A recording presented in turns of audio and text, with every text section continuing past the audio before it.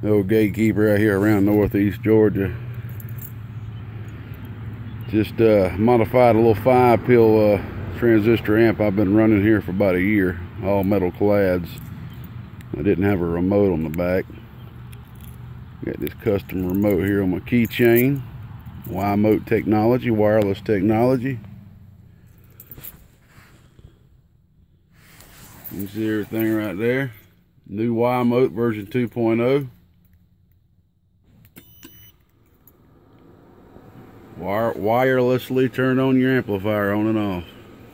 And buddy, this thing's got some range. Turn it back off. I was just in my room all the way across the house and I pressed it. Pressed the on button there. Came out here and it was on. This thing's got some range like you wouldn't believe. Okay.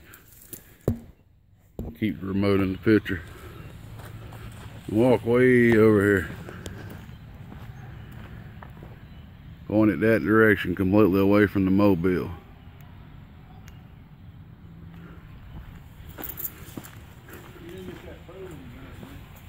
Look at that bad boy. It's got some good range, man. Oh yeah.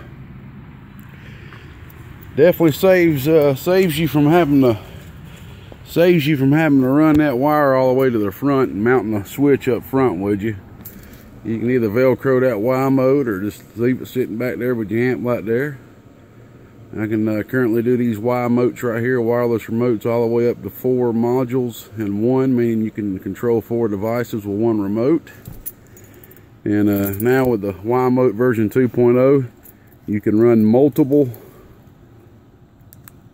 you can run multiple uh.